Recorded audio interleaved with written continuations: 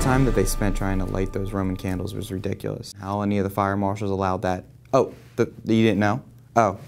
Hello, Neumann parents and guardians. Here's what's been happening here at Neumann. Welcome back and a Happy New Year. Has your New Year's resolution already fallen to the wayside? That's okay. You can substitute your resolution by making a financial gift to help support our Neumann students. And now onto the Neumann Fund Impact Report for January. Hi, I'm Wanley, Special Reporter for the Neumann Fund Impact Reports. The Neumann Fund includes the Annual Fund, Scholarship Fund, and Athletic Fund, which means that your Neumann Fund gift could support virtually everything at Neumann.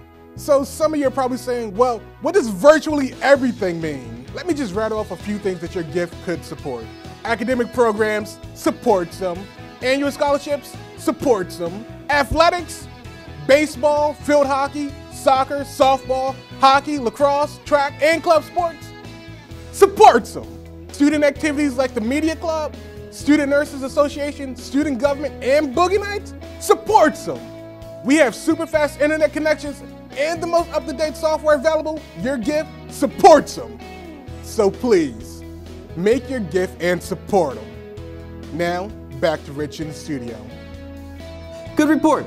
And remember, your participation can make it happen. Good nights.